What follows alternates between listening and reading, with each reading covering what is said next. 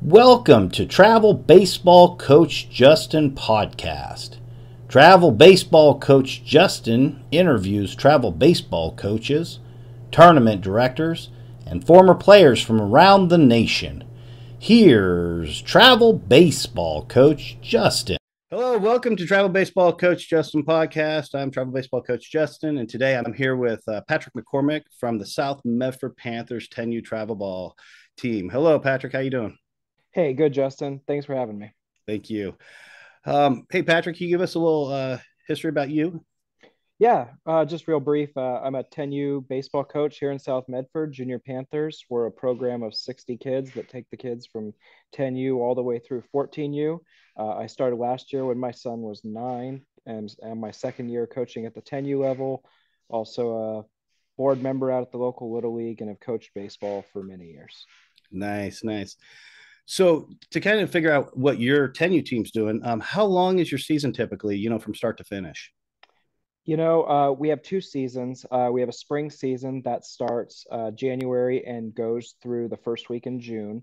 Um, around mid-May, we start uh, scouting slash uh, trying out for a summer fall team. Um, some kids only stay on for the spring season, and then uh, some kids stay on all the way through for the summer fall, which will end at the end of October. So we'll go June through October. That's a long season for those kids from January to October. That's nice. So, how many tournaments um, do you think you're going to have in about a year in both seasons? Uh, last year we had 13 tournaments, and we're anticipating about the same. Wow, that's good. That's 39 games with three game guarantees. And so, let's see here. And you, I imagine you guys are scrimmaging throughout the season with the other teams. Correct. Yep. About how many games a year are you guys playing? Uh, I I imagine we probably have 15 scrimmages mixed in there. All right. So, well, you put you about 55, 56 games. That's a lot of experience for boys at 10U. I think that's great. Um, they're just going to get better and better and better the more they play. Um, so, since you're a travel ball team, how far are you guys going to travel, like cities and that kind of stuff? Where you, where you where you headed out outside of Medford? Yeah, so our, our spring season, we traveled to Redding, California, about three hours south. Um, and then we'll go over to Klamath Falls, about two hours east of here. Um, nice. Outside of that, our spring consists of mainly tournaments here in our hometown of Medford, where we're. Yeah, Lithia and Driveway Fields. That's Gotta it. love that complex. Yeah. All right. And then how many kids do you have on the team, your team specifically? I know you said 60 for the program. Yeah, we have 12 on our 10U team. Perfect. And then are you an older 10U or a younger 10U? Because, you know, 10U is kind of like when people start travel ball. Yeah, so we're an older 10U. Uh, so we go by grade. So they're either going to be in third or fourth grade, um, but we're older as far as experience. Eight of our 12 kids played as a nine year old last year. So, oh, wow. And then they're going to be playing 10U again this year? That's it. Yep. Oh, man, they're going to dominate. yeah, that's the hope. That's oh, yeah. Hope. Well, let's just say their experience will uh, get them through a lot of games where you're, you're holding on. Yeah. I've been there. oh man. So what are the challenges you're finding um, as a coach with the players right now? Yeah. So, I mean, one of the main challenges at nine slash 10U, and I know you can relate a little bit is, is just keeping them on point during practices. And I mean, you've really got to be consistent with your practice plans. You can't just throw things together last minute. You really got to have a bunch of different options for the kids to get them through practices, keep them engaged, things like that. Um, at this age group, they're still nine and 10 year old kids that are staring off into space, watching the traffic go by on the highway to next to the field, things like that. So, so uh, keeping kids engaged is really critical to their development, in my opinion. Well, if you're doing that, it sounds like you probably have more than how many coaches do you have on the practice field at any one time? Uh, typically, we have three to five coaches at every right. practice. Right, and then you break them up. You constantly keep them moving. That no, that's that's the best uh, mix I've seen that, that works. Uh, we do three to four stations as well. The kids are always moving. If they're not moving, it's usually two to three kids at a station, and they're always doing something. That's great. Um, so, uh, coaching your son uh, has has that been a challenge? Yeah, it absolutely is. Um, you know, I mean, you got to take your coach hat off and put your dad hat on from time to time, and uh, it, it's a challenge because I feel like uh, in my world, coaches, kids, uh, they have it hard, you know, because there's the expectations uh, dad's going to extra games all the time and he's always in the car getting dragged around watching your team's games or other teams right. games and and, and so uh, ba- baseball is I'm, I'm I'm lucky that he's happy watching baseball games and being out at the baseball field but yeah it's it's tough coaching him just because it you got to have that right level. You got to treat him like one of the other players. And, I, and right. I struggle with that a little bit. I have high expectations for my own kid more than others because there's the parenting the coaching everything and and that's tough. You hit it. Right. Have you ever uh tried to get coach him on something and he just doesn't want anything to do with it Absolutely. Yeah. I mean, uh, I, I, I, we, we've come, to, my assistant coach also has a kid on the team. And a lot of times we'll coach the other uh, coach's son instead of us coaching our own kids right. for that exact reason. Right. No, I, I learned that about four years ago when we started the Bucks in the fall season. As I noticed, uh, Newt's boy and Travis's boy and and Josh's kid. These are all their coaches. They weren't listening to what their dad was saying. And so I would just repeat what their dad was saying. And then they'd be like, oh, this is the first time I've heard it. This is like good information. And I once I noticed that, I was like, oh my gosh. I started going up to them. I said, Hey, can you can you tell my boy Adler to do this? And all of a sudden it's like, it, it, was like they flipped a switch and the kid totally resonates. It's like, I've heard that many times before, but no, this is the first time I've ever heard from you. Right. and then, then they gravitate towards that. So we got a little sneaky and we just start, you know, going up and they weren't know, they didn't know what was going on. They're nine, 10, you know, you just go up there and you kind of whisper in their ear and five, ten minutes later, they walk by and they go, Hey, fix that. And then it's done. It's, oh, that's the best part. That's the best part. Figuring that little uh, trick out as a travel ball coach when you're a dad as well because in our in their lives we tell them because we're rearing them and raising them we tell them stuff all the time what to do and what not to do. So when we're on the ball field they're like enough! I mean you yeah. know what i mean? From us. So yeah that's so um since this is your second year um is there a team out there considered your nemesis and or one that you haven't beaten that you're just like i want to get by them. I want to beat them you know there hasn't we will have to wait till the season to really establish that because we played a lot of teams last year with older kids. So most of those yeah. kids now have transitioned out to the 11U bracket, and only a few squads out there um, kind of remain from what we saw. In our local area, we've really struggled against the Ashland Grizzlies. Um, okay. We, we scrimmage them quite a bit, so they see us a bit. Uh, we see them quite a bit. Uh, and we just really struggled against a few of their pitchers, a few of their kids, um, and have made some real critical mistakes against them. And I wouldn't consider them a nemesis, but I, it sure would be nice to get over that hump this year. Right? No, yeah, the not nemesis, but you know, just one of those teams where it's, it's hard to beat for some mm-hmm. reason, and you're like, you're looking at knowing that these kids can play well, and you know that they can beat probably this team consistently, but they just don't no, it's just it's one of those things. Uh, we just had one this last tournament, and uh, it's Battleborn out in uh, out in Nevada. We saw them in a Reno tournament last year, and they beat us. Uh, it was two to two going into the last inning, and we had three uh, double plays, line drives, literally, and the base runners did everything right. But first base twice, where he caught it going towards the bag and stepped on the bag. There's nothing the base runner could do on a secondary lead. Absolutely. And then one up the middle where the second baseman was holding the kid on, and then a line drive right over the pitcher's head, base hit all day, 99 out of 100 times. But the second baseman was literally two steps off the bag, catches it, boom, bang, bang, gets. Oh. they got out of the inning all three times, so we lost that game. And then they ended up. I mean, you know what happens at 10. You you kind of get down, they they get the momentum going. They beat a six to two. And then this last uh, weekend we were in um, Sparks, Nevada, playing them, and we just took mental dumps in both games and I'm like sitting here, I'm like, I'm spinning because it's hard. I don't know how to coach when the team takes a mental dump. You know what I mean? It's just, it's like everybody's looking every which different directions. Um, we even had a pitcher throw the ball literally over the backstop and up oh. into the second story. Um, it was kind of amazing because you're like, did that just happen? Yep, that happened. oh man. Yeah, it was uh, no names, of course, protect the innocent. Of course, but uh, it was it was it was really comical. I mean, I, I actually laughed it off. I was just like, sure, why not?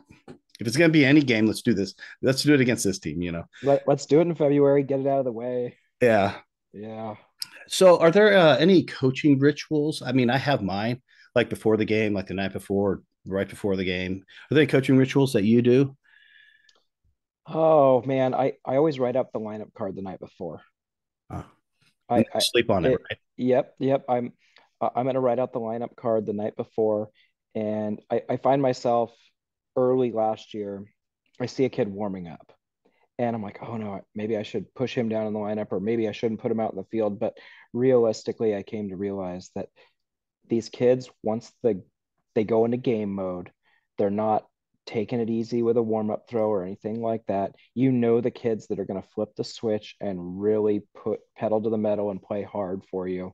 Um, like I said, I've coached eight of these 12 kids for at least two seasons, some three or four. And you just got to trust it. You just got to trust that the best version of those kids is going to show up uh, on game day. And if they don't, they don't. They're they're 10 years old, right? They're Yeah. they're, they're all going to have bad days. But to your point, I still like if they're taking mental dumps, it's hard to get a team to reset and mid game and go back out and compete like it's a zero zero game if they're, they're down earlier they're they don't have a couple plays that go their way Yeah. Uh, and I want to get back to Battleborn, um, only because I want to say that they're a really, really well coached team and the kids are really good. It's just we haven't brought our A game against them yet. That's what frustrates me. It's like, man, they haven't seen our A game, you know. But that's what teams do, man. When they get when they got you, they got you, and that's the first team we've ever gone zero and three against. Um, and you know, it irks me. They're not my yeah. nemesis. I like both our coaches, uh, uh, Bob and I forget the other gentleman's name. Um, but anyway, um, yes, uh, but with uh, coaching rituals, mine is caffeine. so for me, uh, I get up in the morning. I always wait an hour to let the adenosine get through the body. It's a chemical that um, your body reabsorbs. And uh, I pop a double double. So I usually do a double shot of espresso. I have an espresso machine, finish that, and I do another one right after it. And then I'm good until game time, which then I go to my trusty Celsius, which has 200 milligrams of caffeine. It's one of these little things. I'm not promoting this. I don't get paid by them, but um, it's soda water. I love soda water, um, but it has caffeine in it. And so, and the, all the flavors are good. There hasn't been a bad flavor yet, which is kind of weird because normally flavors are chemicalized and whatnot. And I don't know mm-hmm. if it is or not, but um, I usually pound one of those about an hour before the game because um, I'll probably make you smile right now because the kids come up with so many questions. Yeah. Like they just pepper. I mean, it's like they have an Uzi and they just go, and then they just pound all these questions at you.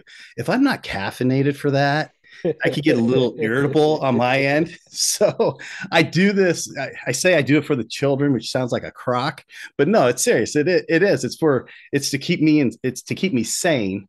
And then um, I get to, you know, sip while I, you know, work with them on the tea, you know, pre-game and everything like that. And then, um, the other ritual is I usually just pop one of those and go straight to soda water or water during the game. But then I do because uh, you know Saturdays you usually have a round robin. A lot of times the games are back to back, or there's only one game in between where you have to wait. And so I have another post game slash pre game one of either the Starbucks Mocha double shot, which is this huge one, but it only has 135 milligrams but I, I usually go back to another Celsius uh, to get the 200 to kind of get me back up because usually you're taking a caffeine dump. And so um, I do that and then it's just play ball. So, but that's it. I mean, it gets you ready. Yeah, it gets me ready. And it's, uh, I wouldn't say it's um, uh, superstition like a lot of us have in baseball. And I believe a lot of those superstitions come from having to focus so hard on this game, whether it's offense, defense, your situations, every routine that has to go through. But um, when I played, I always had the superstition don't step on the line until I made an error and then I kicked through the line. So, but that was my superstition. It's like, okay, hey, I, I, hey, I kept that chalk clean for you, baseball field. Not anymore, you know. So it was, but what it does is it keeps you like mentally engaged. So for me, it's focus. That's the reason why I like rituals. If I see a kid do one, I'm like, what's that for? I usually talk to them and stuff. So anyway. Hey, so so on that yeah. note, if you don't mind me asking, uh, how do you handle that downtime in a in a round robin? Say you got a, a 9 a.m. game and then a 1 p.m. game. You got a one game gap in between. How do you handle that? Okay, so you you brought it up earlier. You said game mode, right? Right. So once we're done with the game, we usually have a conversation. Not always when there's two games back to back. Um, the boys kind of know what they did, but at that point in time, it's it's fun time. So you can't hold game mode um, unless you're back to back together. So if there's a gap, it's always like have fun. I'll crack jokes to some of the kids intentionally, you know, kind of take them out of the game mode, relax the brain, that kind of stuff. And then they know when we start hitting and everything, I'm I'm I'm the hitting coach, so I get to sit there with the tee and talk to them as they're stroking the ball. And and I, I sit there and I get them to do their their proper work, and then we work up into the full swing to where they just hit the ball and don't even think about mechanics. And during that time, I tell them, I said, "Hey, okay, all right, when you go out off the whiffles or taking fly balls or whatever, do everything right. Get into game mode. Just start getting down that runway. So when we hit the game, you're airborne. We're not we're not reacting. We're we're we are just we're we're predicting. Hey, that ball's going to be their crush. Uh, that ball's coming to me at third or second, short, whatever. I want it. So that's how I do. I I do it. Um, the other coaches, Dan, Jason, and Antonio, that they got other things that they do. I mean, but for me, it's playtime because they want to talk to their buddies. They want to talk about their game. They want to talk about to the parents, you know, hey, did you see me do that? I don't want them serious because when they're serious for that long, then then they fade out in the mm-hmm. game. You see them fade out in the games. Um, so I like to flip the switch into fun time. Like, hey, go, okay. go get something to eat. Go go do whatever. So yeah. So um, when is your next tournament coming up? Our tournament is um, about what 13 days away now. Uh, March March 11th is uh first tournament here in Medford, so we'll be uh we'll be out there uh, March 11th and 12th here uh, with the Driveway Fields. Pretty excited. Any of the any of the teams in the tournament um, you guys played last year? Kind of like you, where they were a younger 10U and then they're an older 10U this season. Yeah, so there's a few squads there that we played last year. Um, looking forward to matching up with them. Uh, you know, it in our world right now, there's two different types of 10U teams and, and age brackets really. There's there's teams like ours that are directly affiliated to a high school where we mm-hmm. are strict by grade. Fourth grade is 10U, fifth grade is 11U, sixth grade is 12U. And then there's club teams where it's it's just age, right? Like May 1st cutoff is the cutoff. Right. So at whatever age you are, even if you're a fifth or a sixth grader that qualifies for 10U, you're playing. Um, and so one of those uh, club teams around here is uh, Play Ball Prospects, Gas right. House, um, and and they're returning about half of that 10U team from last year, and it feels like we played them probably seven times last year, and they're in the first tournament, so that'll be one of those squads that I'm sure are in our near future. Oh yeah, oh yeah, awesome. So will there be since you're an older 10U team, will there be a more aggressive approach to um, some of the game, uh, some of the points in the game that you probably weren't able to do last year because you're still foundational building? Hundred percent. Yeah, I mean, we're working on stuff right now in February that we barely touched even with our summer ball team. Um, we're working on pitcher cuts and things like that, and first base cuts and think weird things that are intricacies of the game that need to be learned. But if you throw it at a nine-year-old in his first year of travel ball, it's probably just going to get lost. So uh, we're right. implementing more, um, more signs, more plays, um, things like that, and and listen, they're not perfect yet. We don't expect them to be for, perfect in the first uh, tournament of the season for them, but we expect them to at least be able to execute some things that maybe they weren't last year. Right, right. What about uh, base stealing? Much more aggressive this year.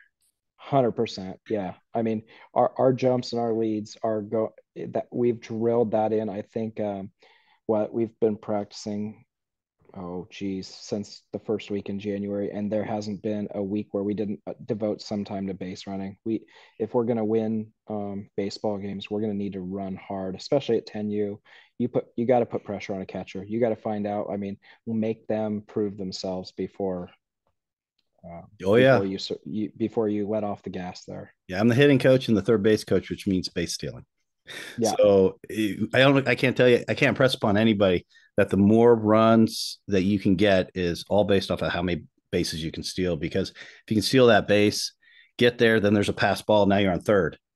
Other teams would be like they didn't take that first pitch or second pitch, and then there's a pass ball. Now they're on second. Then there's another pass ball. Well, the one on third scores, the one on second gets to third. So you know that you've seen it. Yep. It's frustrating. You're like, you should have stole. I gave you the mm-hmm. sign, you know, whatever your sign is. We've been there, yeah. Whatever. Yeah. Um. Yeah. No. No. Um. Awesome. Hey. Uh. Have you played in um, like in Medford? It's kind of weird because uh we play all around, and other tournaments will actually do what's called an uh if you if there's eight teams, they'll do an 18 bracket. So you have pool play on Saturday, but in Medford, at Lithia Driveway Fields, they do uh, two brackets, a gold bracket and a silver bracket, where you have your top four teams, and then the five through eight in the silver bracket, and then you know five plays eight, six plays seven, one plays four, two plays three, and so that I understand why Mo- why Medford does it. They just want to limit, you know, to four games max. Whereas if you do the, have you ever played in a tournament with the eight bracket teams? Yeah, with our summer team, we we played a couple Northwest Nations tournaments. Yes. And yep, and that's exactly the the layout. And we did play three games on a Sunday. Right. And that's I good. we were at the same tournament and it was a hundred degrees and the kids were beat.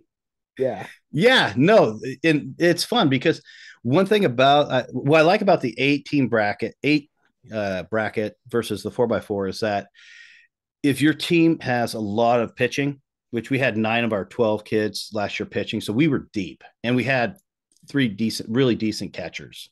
And so, um, which who also pitched. So when you get into that, what happens is you usually gold bracket championship games, uh, all the arms are usually tossed out. But by game five, and you're in the bracket championship, you're you're it's it's a hit fest. It's a run fest. It uh, so I yeah no it, it, it's fun. I, it's just uh, it's just travel baseball, and there's different ways to do the brackets, and I thought that was great. Um, hey, in my uh, in my podcast, I'm always going to a- ask this question um, to travel baseball coaches, and it's just a thoughtful question because it was one that really hit me last year, um, real hard, and um, it's it's this, uh, Patrick. Is there something that made you step back while being a coach for this 10U team? That the players taught you?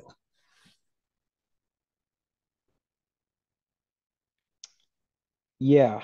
So, I mean, I, it's easy for a travel baseball coach to focus just on the baseball things. Mm. Um, it's it's the impact that we're going to have on these young men's lives long term that's even more important i think uh, one of the parents called me in the off season and said hey my son who played played for me last year. Uh, oddly enough, he had you on his list to invite you to his birthday party, and I was like, oh, yeah. okay. But then, but then it, it, I paused real quick, and I'm like, man, he the, he played for me for two seasons, moved on up to the next age group now, um, but he he thought of me, and it made me realize that there's this impact that you're leaving on these young men that um, is so much more profound than just fielding a ground ball. And so right. sometimes pausing and realizing that everything you say and do on the baseball field is setting an example, whether it's the way you interact with an umpire, whether it's the way you interact with the other kids, the parents, the respect factor, all that, that that's all part of our job as baseball coaches, besides right. just the baseball stuff. Oh, that's so a good that, one. that's what that's what sticks with me. Yeah. I mean, so I'm thinking like 15, 20 years from now, you know, seeing those kids again and what they remember of us doing what we what we've done for them in both positive and negative ways because you don't know how somebody's taking anything. Everybody's personality is a little bit different but i look forward to those. That was a good one man. That was that was awesome. Um was there anything that a player has done um, while you're coaching like during practice or a game or anything and just kicked you right out of coaching mode to where you just had to uh, stop and laugh? Oh man. Um the only thing that I can think of was we were doing crossfire, which is the standard ground ball drill. And you got two coaches, one hitting a second, one hitting a short, right? And right. And and they're both running and dropping it in a wagon we had sitting on second base and one of the kids, not even thinking, threw it at one of our coaches who was just standing there. It, it drilled him right in the man area. Oh, jeez. and the coach is doubled over. The kid is like bright red, like you he immediately knew he messed up. Right. And the entire team is just dying. Like we lost all control of practice. Like, right. No, no, no. Uh, uh, oh, and it was just it it it was pretty funny. But yeah, yeah. It, no, that's exactly what I'm talking about. Is stuff like that. It's just because you know, coaching, we're always like uh we have this season ahead of us and there's light at the end of the tunnel and that's the end of the season right and in this tunnel are these objectives you want to get your team by throughout the season. We want to finish this. We want to finish this. We want to, you know, like 11 you we're going to start bunting this year. We didn't bunt at all uh, the two 10 years that we played um, mm-hmm. just because we want them to learn just swing, swing, swing, swing. Right. And so we've been practicing bunting last year, but we just didn't do it in a game except for Eli. Eli is a lefty and he's fast. And so uh, I'll have him drop a bunt left and right. But uh, I'm talking more like situational bunting, you know, getting somebody over to third, a first and second bunt, um, put the ball down, move them both over to second and third. Okay, now one out. Let's see what we can do on a close game. Because uh, normally the games they typically aren't close one way or the other. Where we're winning or they're winning, it's just it's it's it's a blowout. So, yeah. um, so yeah. So for us, it's all these different obstacles and the light at the end of the tunnel.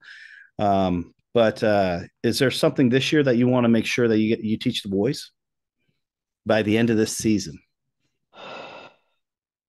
You know, um, geez, let me think on that for a second. Well, what is something that your team doesn't do very well right now? You know, we still haven't turned double play. Oh yeah, well, ground ball double play. And and I, I think that's really hard if any team is getting any kind of lead at first and and they're doing any kind of decent job base running. Um, i'd love to see that happen. We've got a great right. second short combo um, that that i think is capable of it and they work on that. Um, the transition and everything through. Yeah. But we still haven't gotten the the traditional the, double play, the, not the, line drive double off or the unassisted no. shortstop going towards second, step on the bag over to first. Yeah, no five four three yeah. six four three four right. six three double plays. Right. Nothing, none of that. Yeah. Or better I, yet, I, one one six three. Yeah. That yeah. we haven't done yet. Pop, turn, throw it. Hopefully the short gets there and get them out. Yeah. Yeah, I, I'd um, be impressed if if if we could ever pull off a one six three and ten you, but yeah. Oh yeah. Oh yeah. Absolutely. You know, that'd be awesome. Um, no, hey, that's all I have. Um, is there anything you want to share that maybe we didn't cover?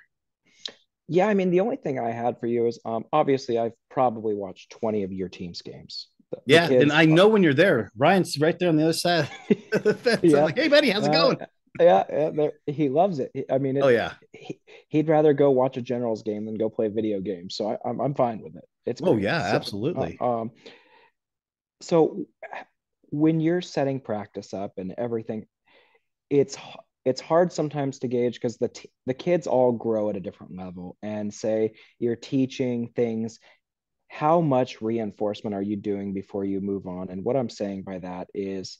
Um, you know, you could touch on getting good jumps at first base for 12 practices in a row, and some kids still aren't quite there.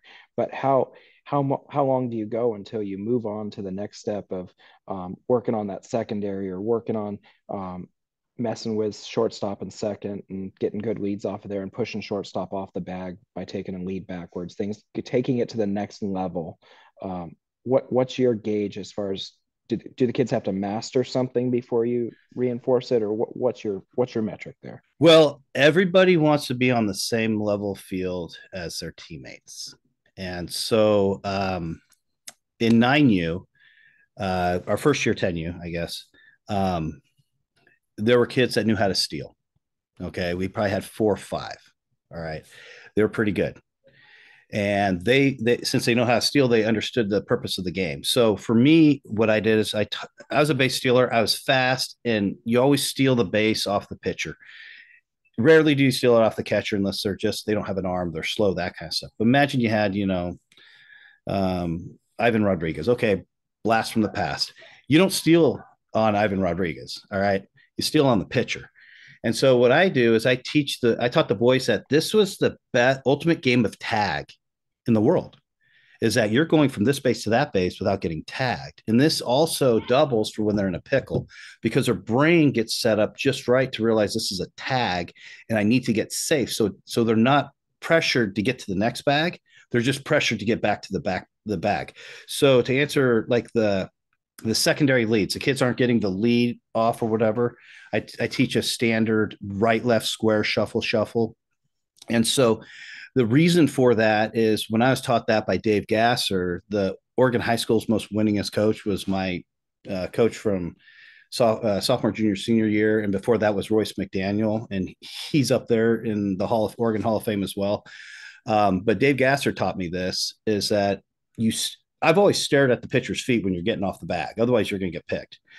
But he goes, it's right, left, square, shuffle, shuffle, and you take two, you know, regular steps, you square up, and you take a shuffle shuffle. And the purpose of that is so when you do it enough times when you when you're staring at the feet and you do your normal right left square shuffle shuffle you just know you t- pivot if you're getting picked off and push and dive and you're back to that bag. Now if they're blowing past that bag they need to either eat, take longer shuffles or longer strides but they need to figure out how to get to that one spot. I can look over at first and i'll know if one of my players isn't off far enough. And i'll be like give me a half, give me one, and, the, and they'll know exactly what it is. Um, and so, which is nice from the third base coach perspective because I can see, right? Mm-hmm. And then um, I said that all, everybody on the team wants to be on the same playing field. So as we were going through um, them taking their leads, once they got their leads down, that's fine. The hardest thing is teaching them the secondary, uh, the secondary lead, which is it's not a up and down, up and down, up and down but it is three hops where you're landing on your right knee, slightly behind your left knee, and you're either crashing to bounce back to your original lead, or you're rolling over it to go to second base because the ball went down or it went past the catcher, right? Um, so if they don't master the secondary lead, then at 9U, okay, so a lot of these kids w- wouldn't have been able to steal anyway.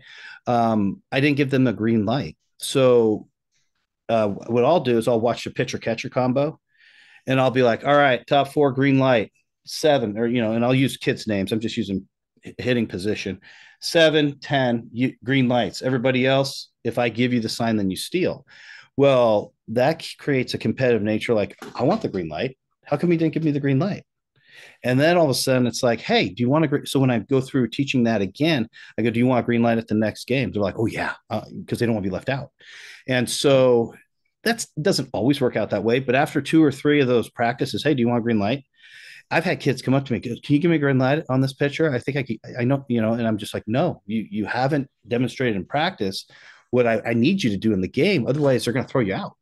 And you know, even at that level, they're not going to I mean, the ball could be up the line, it could be bounced over their head or or whatever. So there's there's that error too for them to be safe. But at, at the same token, not I go not unless we're blowing them out. I mean, you get that eight eight run lead, eight or more run lead, then then everybody gets a green light because mm-hmm. I want them to have that game game time experience. But they didn't earn the green light. The team earned the green light. That's the end of episode one for travel baseball coach Justin. The Zoom meeting cut us off at the 35 minute mark. Anyway, stay tuned for episode two. I will make sure I have the Zoom meeting set for two hours, and that won't happen again. Thank you for watching. Travel Baseball Coach Justin. Have a good day.